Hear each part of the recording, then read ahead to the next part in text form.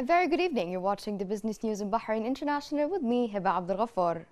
Bahrain All Share Index has closed at 1,278.94 points, marking an increase of 0.48 points above the previous closing. The increase was in the investment sector, where investors mainly traded, representing 37% of the total value of traded shares. 144 transactions took place, including 6,239,209 shares, worth 1,774,947 Bahraini dinars.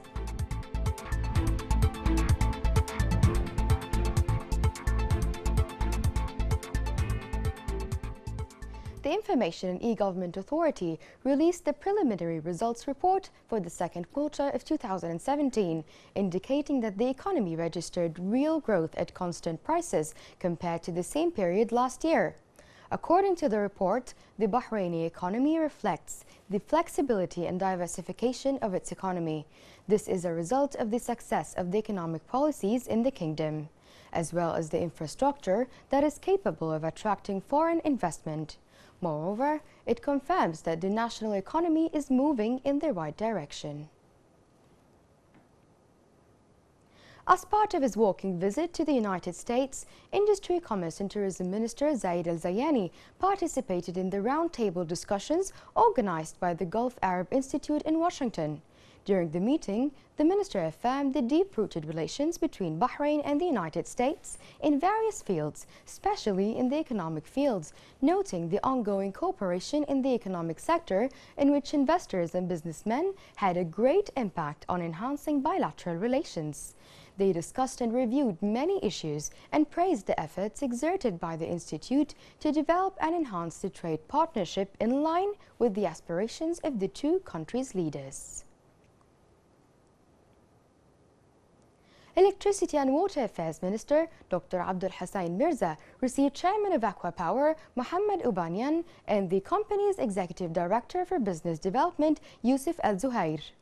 The Saudi-based company specializes in power generation, water desalination and renewable energy development projects.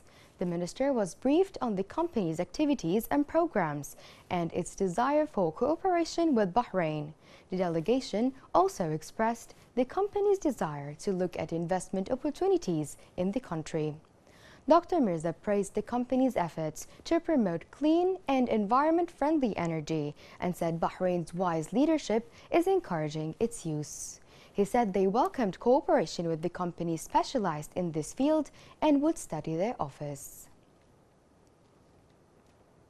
Saudi Arabia has approved a new law regulating trade in petroleum products, saying that such products should not be used in industry except at world prices.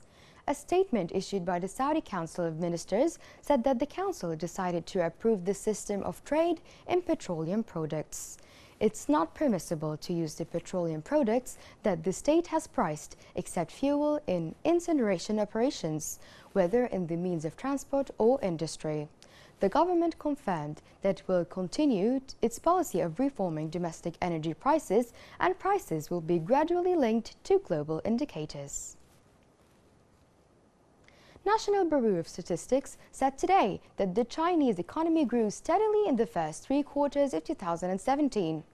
China's gross domestic product expanded 6.9% year-on-year in the first three quarters of 2017 to about 8.96 trillion US dollars. The service sector expanded 7.8% year-on-year in the first three quarters, outpacing a 3.7% increase in primary industry and 6.3% in secondary industry. In the first three quarters, total value of Chinese imports and exports rose by 16.6% year-on-year to 3.06 trillion US dollars, with mechanical and electrical products remaining to be a major drive for exports. Growth in China's fixed asset investment also rose 7.5% year-on-year in the first nine months of this year. That's it from the business desk, and it's back to you, Sara.